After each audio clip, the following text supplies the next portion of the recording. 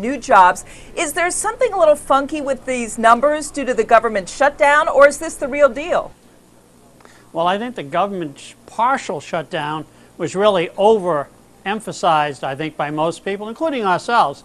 And I think that what we really see is that underlying trend of job growth is really about 180 to 190,000. This number was a little bit higher because of retail and leisure and hospitality, which may be overstated. But bottom line, the economy continues to create jobs at a healthy pace. And we did also get those revisions in September and August. How significant is that?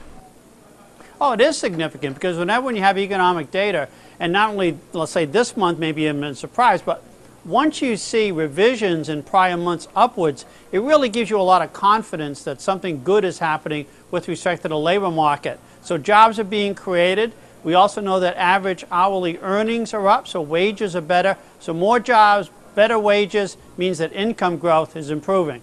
All right, that's the positive. Let me throw some negatives at you. Labor Okay. participation rate, lowest level in 35 years, and that unemployment rate still stands at 7.3%. Obviously, that's better than what it was years ago, but it's not where we'd like it to be. So, how can we have this job growth and those other numbers that just hit us in the face? I think what's happening is that there's a sort of a diversion or a spreading out of success here. Those people who are younger, uh, more talented, uh, computer literate, they're getting the jobs. We're hiring enough to employ all those younger people, but the other people, less skilled, semi skilled, slightly older people who have been unemployed for a while, continue to be unemployed, and many of them are now dropping out. So, what we're seeing here is a split.